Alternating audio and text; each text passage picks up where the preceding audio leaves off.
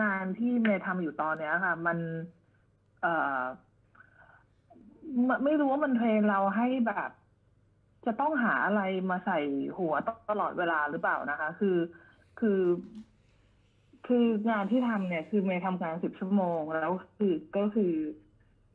ทำเกี่ยวกับคอมพิวเตอร์ตลอดอะไรอย่างเงี้ย แล้วพอพอสิบชั่วโมงคือคือดูหน้าจอตลอดเวลา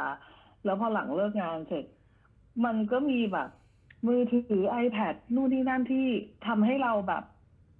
คือถ้ามีอยู่ช่วงหนึ่งถ้าถ้าวันไหนแบตหมด เหมือนแบบขาดอะไรไปอย่างหนึ่งคือถ้าแบตมือถือหมดแล้วเราไม่ได้ทำงานอะไรแบบเนี้ย มันก็เลยเออเราไม่รู้ว่าด้วยงานที่ทำอยู่มันเทรนให้เราอ่าฟุ้งซ่านไปมาก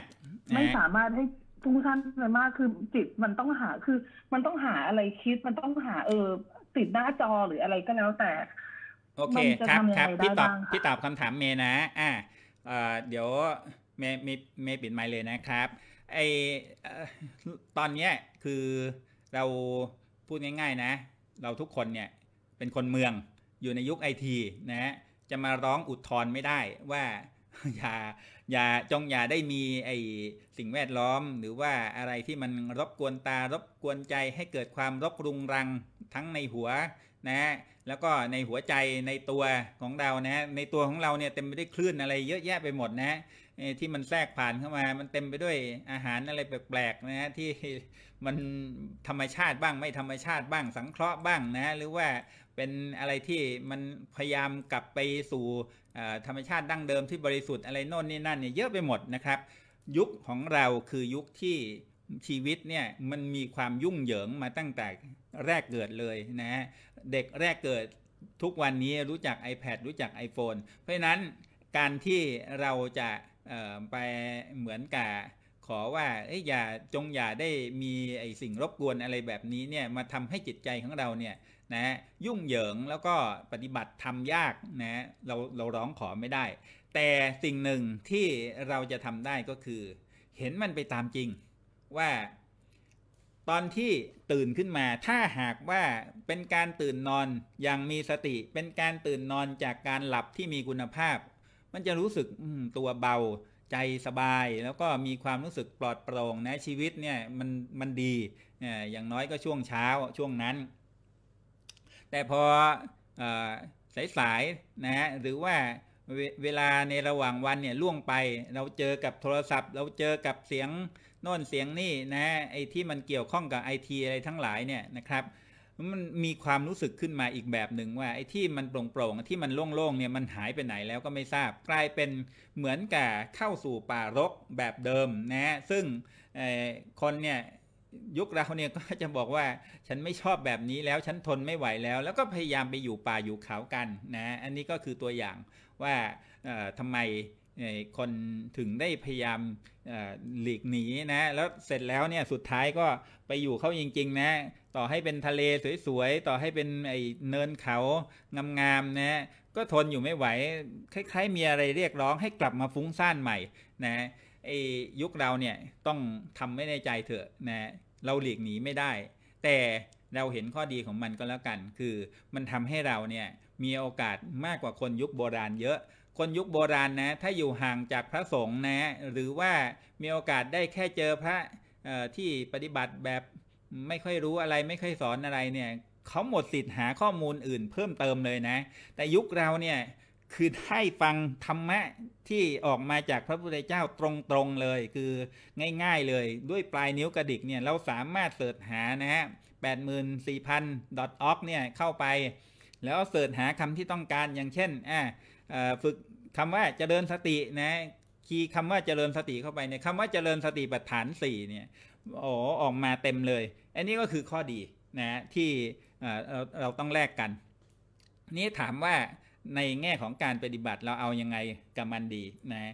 คือการที่เรามีหัวรกๆ มีหัวยุ่งๆ อยู่เนี่ยไม่ใช่ว่าเราจะไม่ได้ประโยชน์จากมันเลยนะ ถ้าหากว่า เมลองสังเกต ตอนที่กลับจากที่ทำงาน มาถึงบ้าน มันจะรู้สึกเหมือนโอ้โหตอนเข้าห้องเงียบๆเนี่ยนะเหลือตัวคนเดียวเนี่ยคล้ายๆ กับมีเสียงผู้คนเนี่ยตามมาจากออฟฟิศหรือตามมาจากท้องถนนนะฮะมีอะไรต่อไม่อะไรเนี่ยเจอคือคือเราจะเจอไอเอ่อคล้ายๆกับใยแมงมุมหรือว่าข่าย ไข่ใยอะไรบางอย่างเนี่ยที่มันห่อหุ้มหัวเราอยู่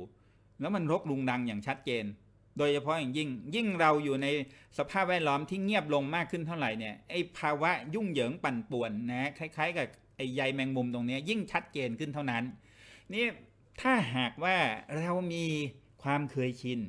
อะไรสักอย่างหนึ่งเป็นวิหารธรรม อย่างเช่นที่พระพุทธเจ้าแนะนำไว้ ตั้งแต่เมื่อ 2,000 ปีที่แล้วก็ยังมีอยู่ในสมัยนี้เอามาใช้ได้เป็นอุปกรณ์ของมนุษย์ นะคือลมหายใจ ติดตัวอยู่ตลอด 24 ชั่วโมง เวลาที่เราอยู่คนเดียว เราลองมานั่งดูลมหายใจนะลมหายใจแรก สิ่งที่มันจะเกิดขึ้นแน่ๆ คือความรู้สึกอึดอัดฝืดฝืน ไม่อยากดูต่อ เพราะว่าไอ้อะไรที่มันเกาะหัวเนี่ยความฟุ้งซ่านเนี่ยนะมันรบเร้าให้เราเนี่ย ออกไปหาอะไรอย่างอื่นทำแบบที่สอดคล้องกับมัน พูดง่าย ๆ อยากไปหาเรื่องฟุ้งซ่านทำไม่ได้อยากมาอยู่สงบสงบกับลมหายใจนะแต่ทีนี้ถ้าเราไม่กะจะเอาความสงบล่ะ ไม่กะว่าจะไอระงงับความฟุ้งซ่าน ให้ได้เดี๋ยวนั้น แต่เรากะว่าเราจะมาดูซิ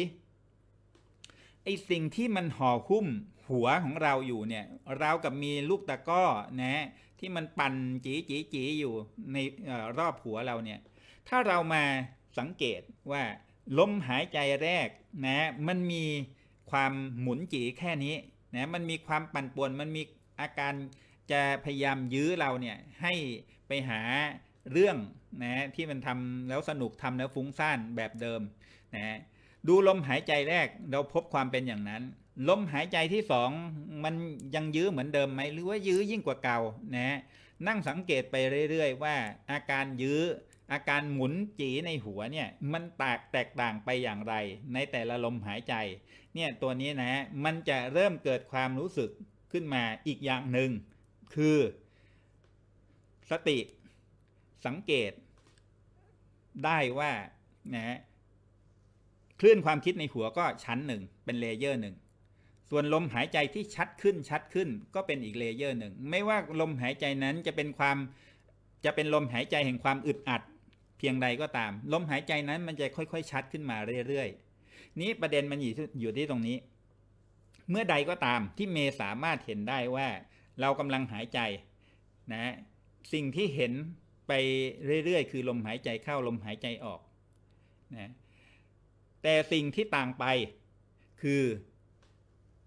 ขายใยความคิดในหัวที่ครอบหัวอยู่หรือว่าห่อหุ้มหัวอยู่เนี่ย มันจะค่อยๆ บางลงบางลง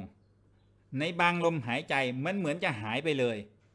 ในบางลมหายใจมันเหมือนจะกลับมากขึ้นมาใหม่ทวีตัวขึ้นมาเข้มข้นหนักกว่าเดิมนะ ถ้าเรามีความเคยชิน